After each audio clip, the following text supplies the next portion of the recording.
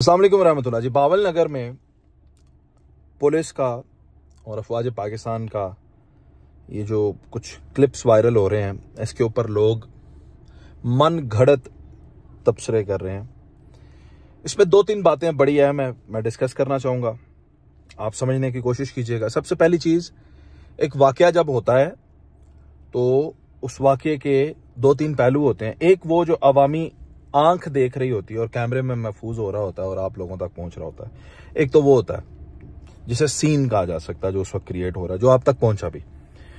बाकी दो और पहलू हैं। एक वर्जन पुलिस का होगा एक वर्जन आर्मी का होगा। ये दो अलग वर्जन होंगे जो आपको नहीं पता अभी तक। ठीक है? आ, आप आप तक जो चीज़ पहुँच रही है वो सोशल मीडिया के थ्रू पहुँच रही है और बाज बल्कि आपको मैं याद करवा देता हूँ मीनार पाकिस्तान का वाक़ चौदह अगस्त का वाक़ एक लड़की के साथ आपको याद है हुआ था और उस वक्त लोग पता नहीं क्या क्या उसको कह रहे थे।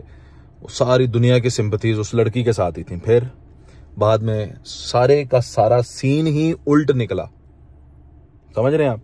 इसी तरह ये देखिएगा कि हर एक्शन का एक रिएक्शन होता है।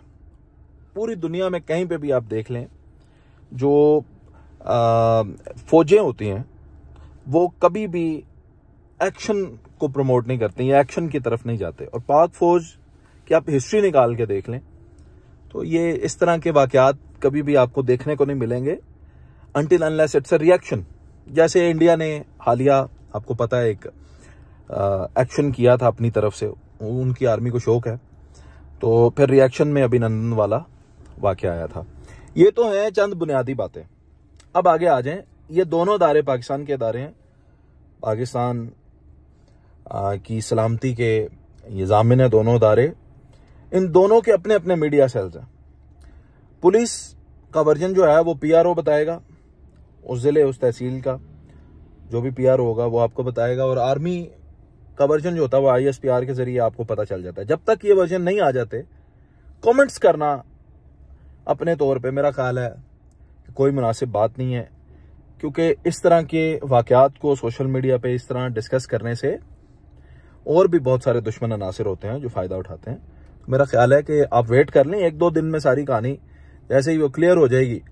तो फिर आप जो है इस पर अपना तबसरा कीजिएगा। अभी लोग अलबत्ता ये ज़रूर कह रहे हैं कि जनाब वो जो लोगों को मुर्गा बनाते थे, अब वो खुद मुर्गा बने हुए हैं और पुलिस वालों की तजलील कर रहे हैं सोशल मीडिया के ऊपर लोग। तो ऐसा नहीं करना चाहिए। पुलिस भी हमारा ही अदारा है और इसके लोग भी हमारे हैं। उनको ओन किया करें।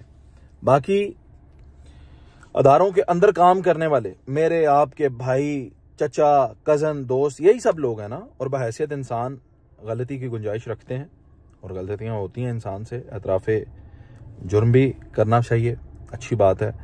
और आ, मेरा ख्याल है कि इस वाक़े की जो फाइनल वर्जन हैं वो यही होंगे कि आई एस पी आर का वर्जन आ जाए सामने आपके और पी आर ओ का वर्जन आ जाए तो तब आपको पता चलेगा आखिर इसमें क्या हकीकत क्या सच्चाई है?